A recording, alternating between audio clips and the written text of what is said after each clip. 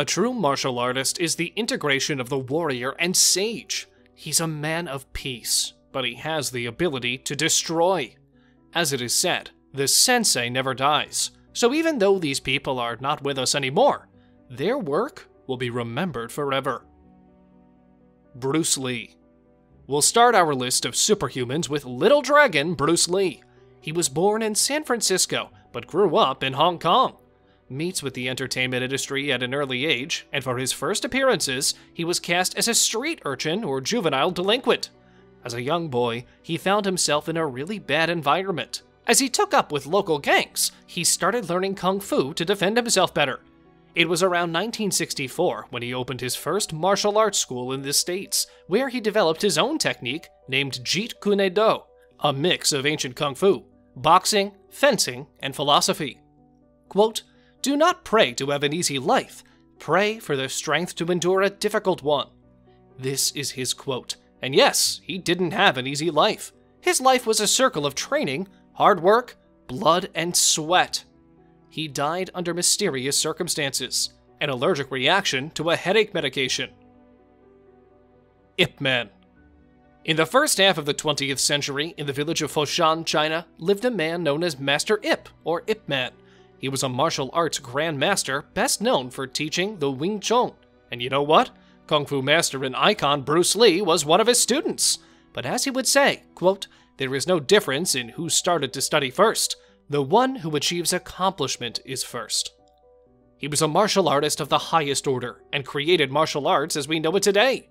The Ip Man movies are based on events in Ip's life that supposedly took place during the Sino Japanese War.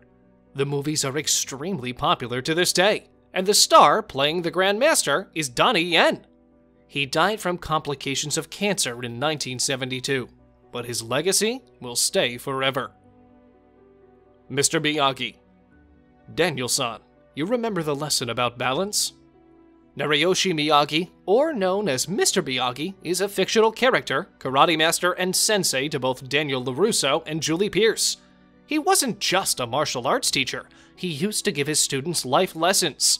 He taught them self control and guided them through difficult times in their life. The students who followed his lessons became honorable people, and his lessons were very simple. Quote, We make sacred pact. I promise teach karate to you. You promise learn. I say, you do. No questions. The star in the Karate Kid movies playing the karate master was Noriyuki Pat Morita. He was an American actor and comedian known for his roles as Captain Sam Pak on the sitcom MASH, Matsuo Arnold Takahashi on Happy Days, and many others. Mr. Miyagi died on November 15, 2011, at the age of 86, leaving a legacy that nobody could ever reach. Jim Kelly. Quote, Make a difference today for someone who's fighting for their tomorrow, once said by the great Jim Kelly. Kelly was an American martial artist, actor, athlete, and the most popular African American face in the martial arts movies of Hollywood. He truly was the guy that broke down the color barrier. Born in Kentucky, he grew up competing in a variety of sports, including basketball and American football, but he will be remembered for his impact on karate. Back in 1971, he won the world middleweight karate title, and after that, he appeared in various action movies within the blaxploitation and martial arts genres. He had leading roles in Three the Hard Way as Mr. Keys and as the title character in Black Belt Jones in 1974. But he was also Bruce Lee's opponent in the very popular Enter the Dragon. Roy Chiao. He was born in Shanghai in 1927, but he didn't spend his whole life there. During the Korean War, he went to Taiwan. Soon after, he joined the US Army, and since he was fluent in Cantonese, Mandarin, Japanese, Shanghainese, and English, he was an interpreter and broadcaster for the Army. His screen debut was in the movie The Fresh Peony back in 1956, where he was recognized as one of the top leading men in Mandarin cinema. After that, Chiao appeared in the 1973 Bruce Lee movie Enter the Dragon, the 1988 Jean Claude Van Damme movie Bloodsport, and the 1978 version of Lee's Game of Death. Roy Chiao passed away from a heart attack in 1999. One of the greatest gifts of the martial arts is that they ultimately guide us to new levels of spirituality.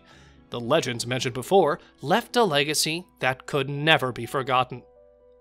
On a related note, tell us down in the comments below what are your thoughts on their movies? Do you think that the action movies today could be compared to these action classics?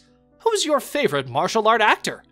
If you like the video, like, subscribe, and hit the bell icon so you'll never miss our next videos. Thanks for watching, and we'll see you next time!